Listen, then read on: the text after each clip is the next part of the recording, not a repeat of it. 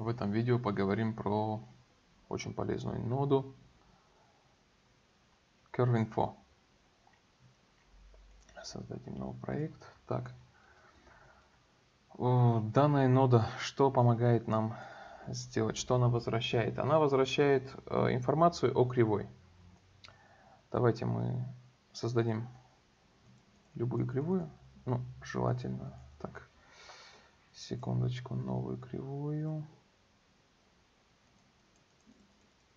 Вот такая кривая.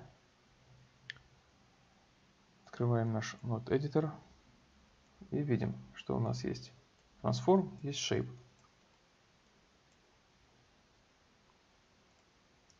Так, лишнее убираем. Остается Shape. Ну, в Shape лежит довольно много коннектов. Это только часть этих коннектов. Можно показать все атрибуты. И здесь довольно много всего лежит. Но нас интересуют только некоторые из них. Те, которые будут использоваться в качестве получения параметров этой кривой. Основных параметров, которые мы будем использовать. И вернемся опять к нашей ноде CurveInfo. Создаем ее. CurveInfo. Вот она. Что она в себе содержит? Основное, что нам понадобится, это вот этот атрибут ArcLine. Он возвращает длину всей кривой нашей. У него есть еще ряд других атрибутов, но эти атрибуты можно получить иными способами тоже. Напрямую из вот этого шейпа. И не особо-то они и нам сейчас пригодятся на самом деле. Основное, для, что мы будем использовать, это вот этот выходной параметр arcLine. Здесь у нас узлы, наши поинты, из которых состоит вот эта кривая. Ну, это все такое довольно примитивно, это, об этом мы не будем сейчас говорить. Вот.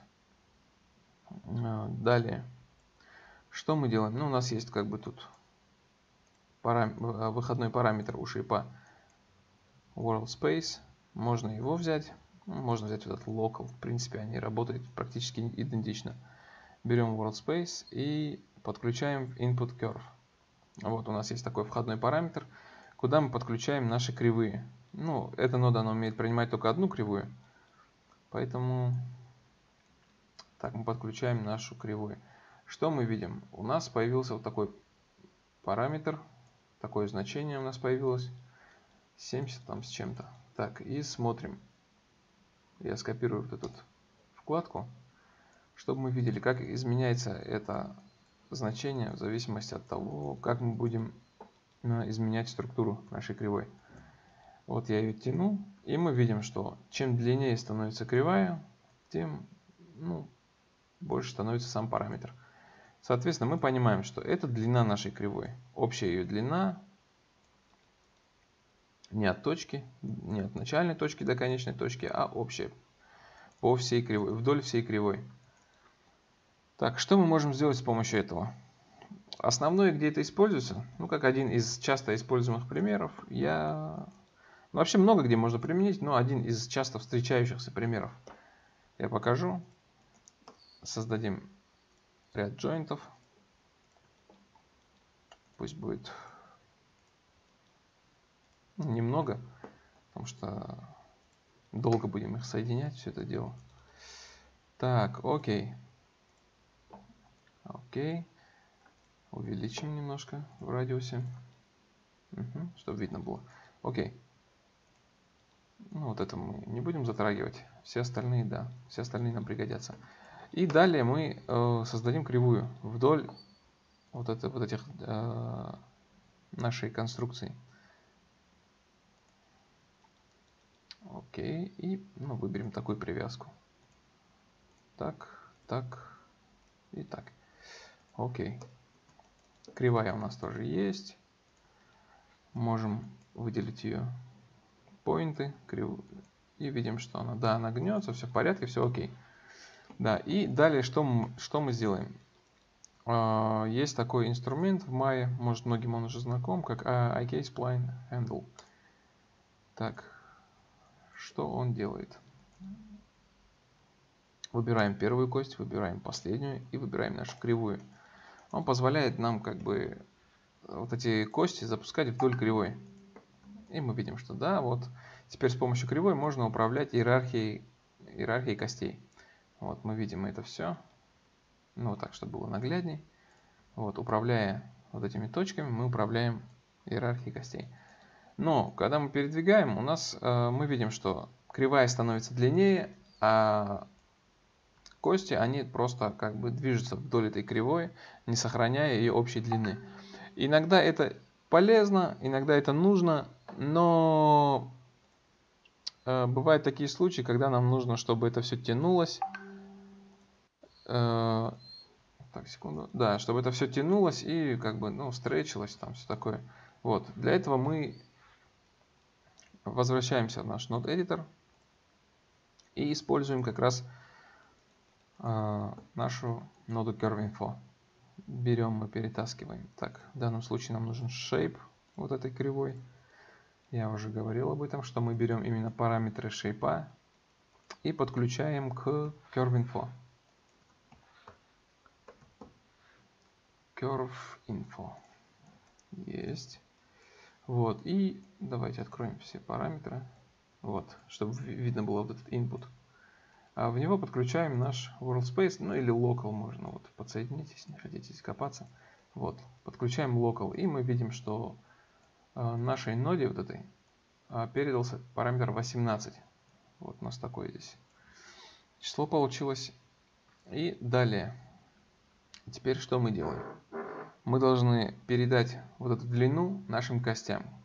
Э, как известно, у наших костей по дефолту, да и у многих других объектов идет единица scale. И, соответственно, что нам нужно будет сделать, если без всего этого просто так глянуть, можно посмотреть, что вот мы скелем кости, и они у нас как бы, да, растягиваются, но нам, нам, нам нужно растягивать вдоль э, нашей кривой. Соответственно, нам нужно передавать одновременно scale и деформации как бы нашей иерархии. Что мы делаем?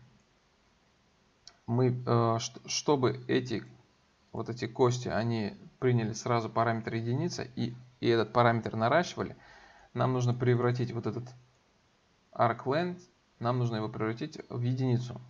Ну, можно поделить число само на себя. Довольно примитивная процедура. Так, multiply divide давайте используем для этого. Он позволяет нам разделить значение. Если не знаете, как он работает, посмотрите урок на канале есть урок про Multiply Divide. Так, подключаем один из инпутов и установим здесь значение 18. 18 и пусть делится само на себя. В итоге как бы по дефолту получится единица. По умолчанию значение дает нам единица. Мы смотрим, можем это проверить. Так, берем нашу, давайте вот эти три кости, выстроим их вот так поудобнее. И будем передавать э, scale x, вот он наш scale x, по оси x вдоль. В сторону нам не нужно, нам только вдоль нужно это все скейлить. И наш output x. Вот он, первые поля наши, результат нашего output. Передаем scale x. Окей, первый joint, второй joint, третий joint.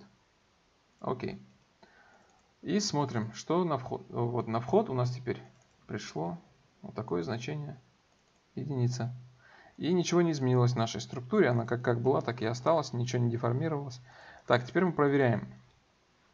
А, будет ли теперь, будут ли теперь кости наши растягиваться вместе с кривой. И вот мы видим, кости тоже растягиваются. Ну, вот результат довольно примитивный. Если бы костей было больше, все такое, то это все было бы как бы, ну, смотрелось довольно так мягкие изгибы были бы. А так мы ну, видим, да, все это как бы скейлится. И можем посмотреть, передался ли скейл. Мы видим, да, у нас теперь скейл больше единицы. Теперь с каждым разом, когда увеличивается вот это значение в CurveInfo, вот, каждый раз оно делится на предыдущее э, исходное значение. И э, в соответствии, конечно же, единица уже ну, наращивается. Здесь уже значение не единицы, а становится больше. Но это так, немножко отходя от темы.